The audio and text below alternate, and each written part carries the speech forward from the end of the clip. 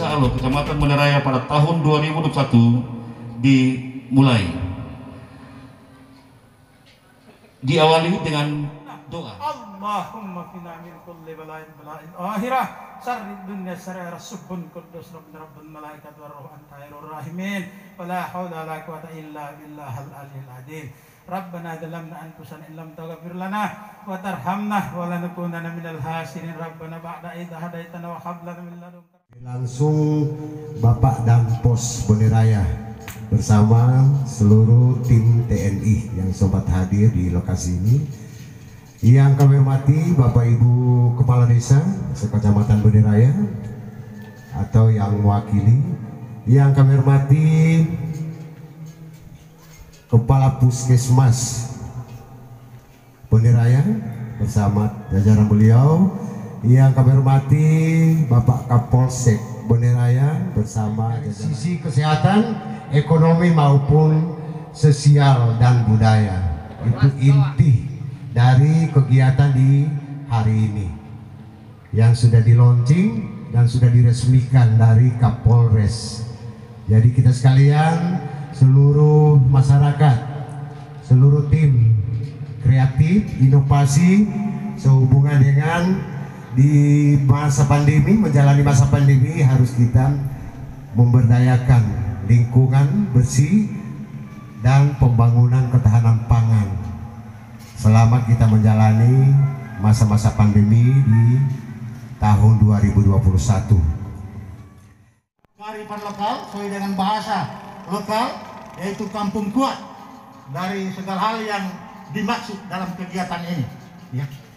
Salawat dan salam marilah kita aturkan pada junjungan kita Nabi besar Muhammad Sallallahu Alaihi Wasallam ini dengan Bapak Kapolri dan telah launching mulai dari tanggal 9 Juli 2020. Tujuannya adalah dibentuknya Kampung Tangguh Nusantara ini untuk ya mengantisipasi terkonfirmasinya COVID-19. Ya, jadi tujuan utamanya adalah dibangun di tengah-tengah pandemi COVID-19. Ada dua kriteria. Yang pertama dibangun di zona kosong, ya, zero hijau. Ya. Jadi kalau hijau diusahakan kampung ini mempertahankan jangan sampai dia masuk, ya, bisa terkompil dengan COVID-19. Kemudian alternatif yang kedua dibangun di tengah-tengah yang banyak terdapat terkonfirmasi COVID. Nah ini tadi sudah disampaikan oleh Bapak Camat, itu saya kira-kira juga tinggal menambahkan juga karena kriteria-kriteria yang sudah disampaikan oleh Pak Camat itu sudah memenuhi adanya penilaian kampung tangguh. Ada tiga kriteria utama yang dimaksud merupakan indikator dari pembentukan kampung tangguh. Yang pertama adalah mengelola nah, tanggap dan kuat mengelola kesehatan masyarakat. Nah ini sudah ditandai dengan pendirian posko dan penyediaan fasilitas, ada tempat cuci tangan, gugus tugas yang tujuannya untuk mengedukasi masyarakat melayani masyarakat. Kalau sesuai dengan instruksi Menteri Dalam Negeri nomor 3 tahun 2001 sekarang ini, kita harus mampu memetakan untuk penyelesaian permasalahan COVID-19. Ada empat warna yang menjadi ciri khas untuk menangani permasalahan COVID-19 ya dari segi kesehatan. Yang pertama kalau dia kosong berarti warnanya itu hijau untuk jadi pegangan kita supaya secara nasional kita jadikan panduan termasuk untuk wilayah di luarnya itu melaksanakan kegiatan imbangan PPKM yaitu pemberlakuan pembatasan kegiatan masyarakat berskala mikro artinya prioritas-prioritas tertentu yang harus dilaksanakan apabila terdapat kumpir dari COVID-19 jadi itu kalau ada yang positif ya segera ditangani dan diberlakukan macam PSBB yang kita kenal dengan area-area tertentu itu. Ya berskala mikro. Jadi bukan menyekat secara keseluruhan.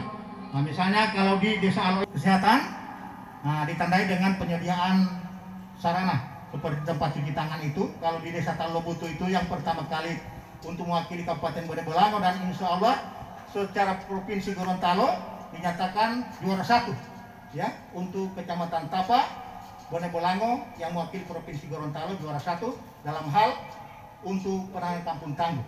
Jadi mudah-mudahan untuk Desa Alo juga merupakan contoh yang terbaik untuk ini dan alhamdulillah sudah kurang lebih tiga minggu saya sudah koordinasi dengan Ibu Kapus bahwa bendera ini nihil ya. Alhamdulillah Pak Camat ya.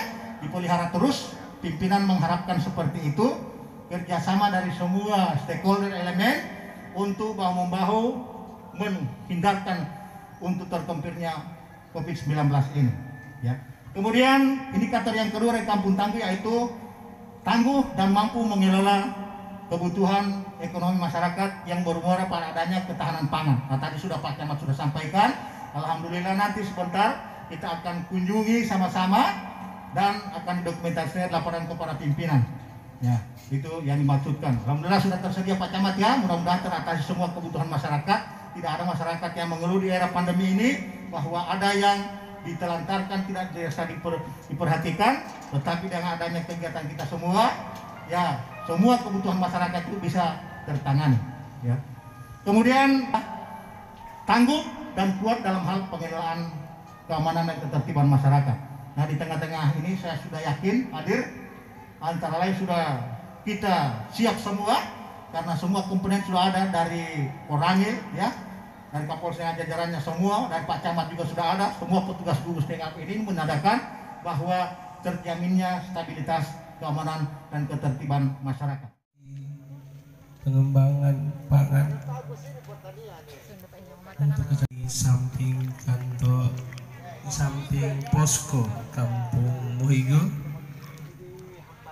Dan nanti akan dilanjutkan ke lokasi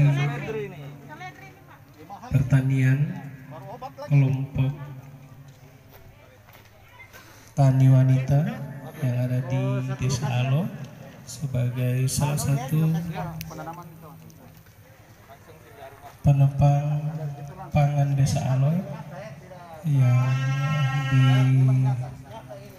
dipimpin langsung oleh Ibunda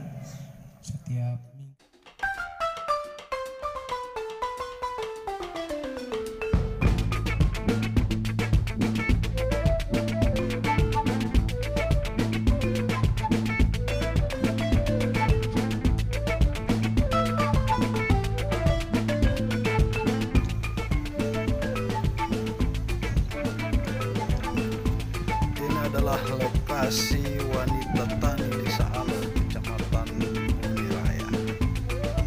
Di sini mereka bekerja, bercocok tanam, dan menghasilkan semua yang bisa